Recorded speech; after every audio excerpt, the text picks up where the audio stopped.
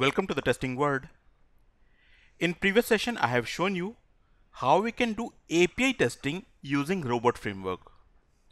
In previous session, we make a get request and when we get the response, we capture response and validated status code. Now in this session, I will show you how we can capture response content and validate content by using JSON path. So I'm going to make a get request. We will get response.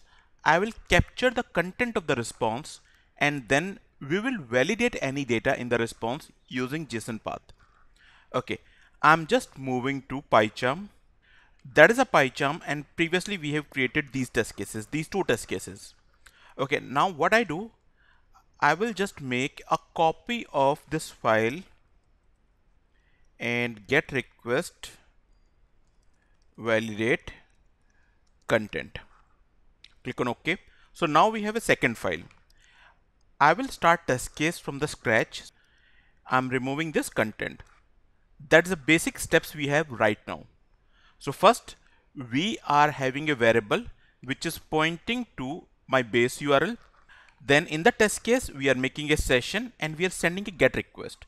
Okay, what I do, I'll just change the name get request fetch and validate content.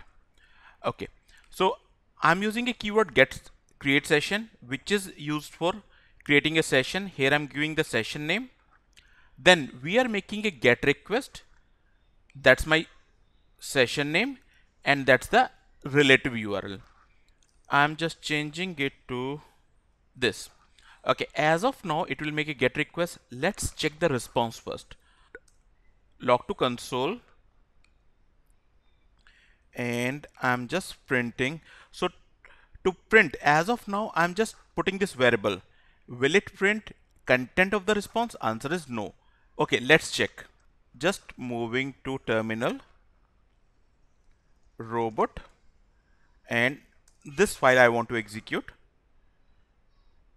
so it is making a get request and if you just check it shows response 200 means we are not getting a content of the content of the response or I would say body of the response. So if you want to fetch body of the response, we will simply write content. Now let's try. So this time it shows that is the body we are getting in the response. So now we are able to make a get request. We are fetching content of the response or you can call it body of the response. But now I don't want to display this body. I want to validate the content. Okay, let's check over here. If I want to validate the first name, how we can validate this first name, middle name, last name. So that we are going to do in this session. First, the response we are getting, we need to take it to the JSON format. So I'll just write it like JSON response is equal to and I'm simply using to JSON which is a keyword so whatever the response we are getting here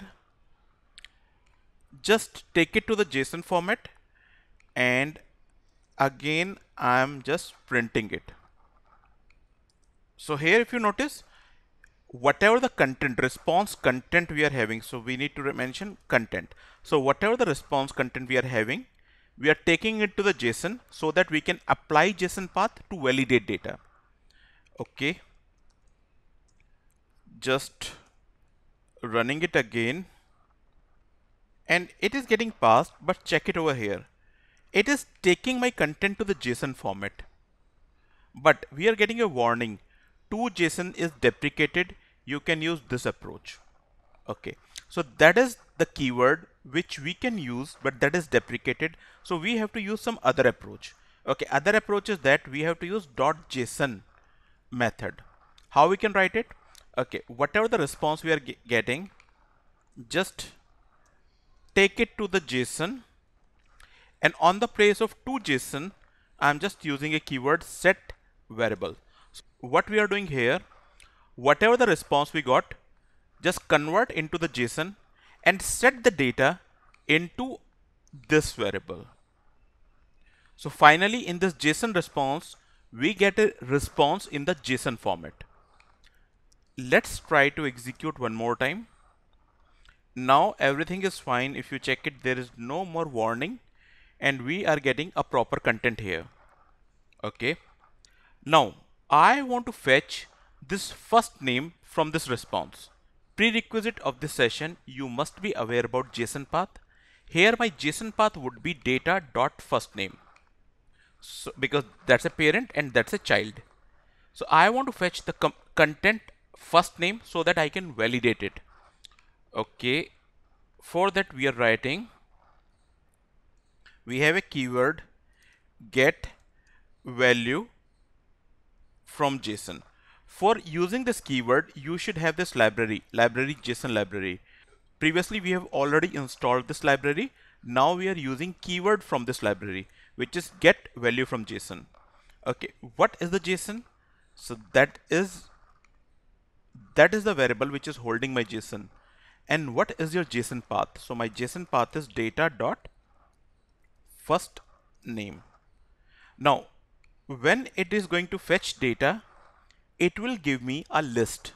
So what I do, I'll just simply say that's my first name data and that will be a list.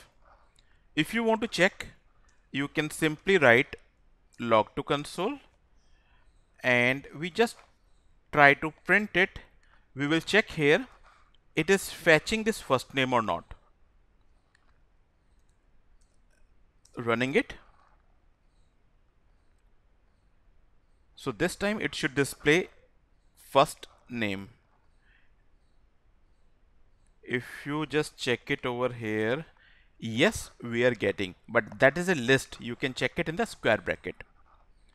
Now, this is holding a first name, but this is a list. I want to fetch this value so that I can validate it. For that we are using one more keyword f name and we have a keyword with the name get from list.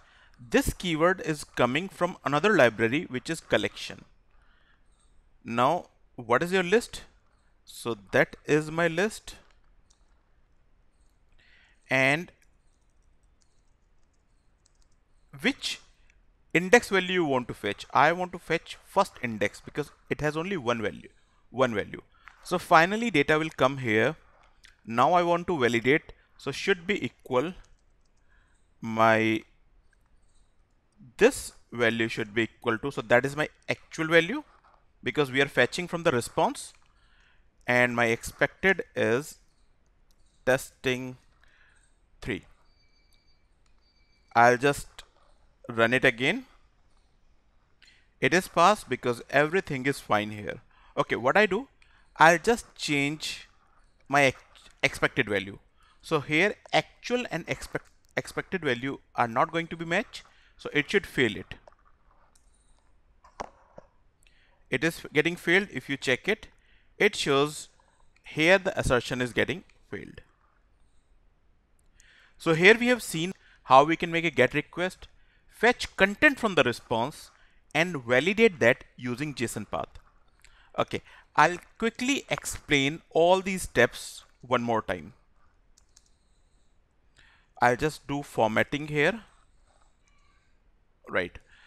Okay, first we are using a create session keyword, giving the session name and that's my base URL. So it is going to make session and that is a mandatory when we are making get post, put or delete or any kind of request. Then we are making a get request on this session and that's my relative URL. So whatever the response we got here, we are just capturing here or I would say storing into this variable. But the response which we want to get should be in the JSON format. So we are converting this response into the JSON and setting into the variable which is this. After this line of code, I will have response stored in my variable and that is in the JSON format. Now you want to fetch actual value from the response. So we are fetching like get value from JSON. that's my JSON because here we have the variable that's my JSON path so whatever the value fetched by this JSON path will be stored here in this list now fetching the value from the list and validating it so these are the straightforward steps we need to follow now as of now we are validating only one value like first name you can validate different value like first name middle name last name or any other value if you want to validate so here in this session, we have seen how we can make a GET request, capture response, and validate content of the response using JSON path. That's all we have. Thanks for watching this video.